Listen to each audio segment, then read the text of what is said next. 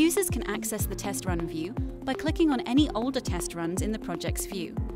This view presents test run execution information, execution time, the executed devices, as well as a summary of the test run. Here it shows a summary of the test run, including basic test run information, downloadable files, and success ratio of tests and devices.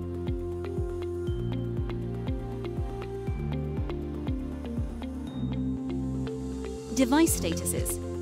On the top right of the test, you can filter devices based on the device state.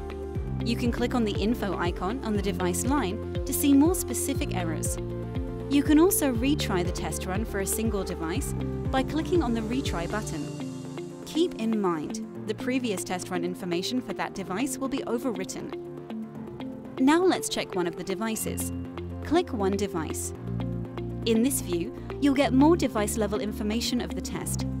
You can use the device session browser to switch and check the devices. Control Panel.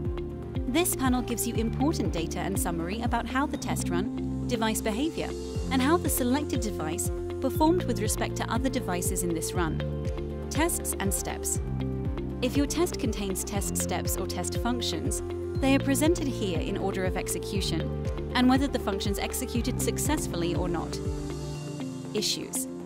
After the test execution, we run some statistics against the devices in the test run. This allows us to highlight some execution issues in this tab that we believe are interesting to you. Output files. All generated and captured files from the test execution can be found here. Screenshots and video files are visible in Next widget, while log files are also viewable here below with search and highlight support. To download any created files, click on the icon. Media widget. The Screenshots and Test Video Recording view shows all captured screenshots during the selected test. Screenshots are presented in the order of capturing. The Log view provides line-by-line -line information about the test run.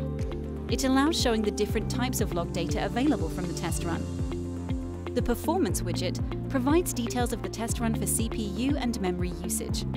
By clicking on any given step, time, you can get more specific information about resource consumption.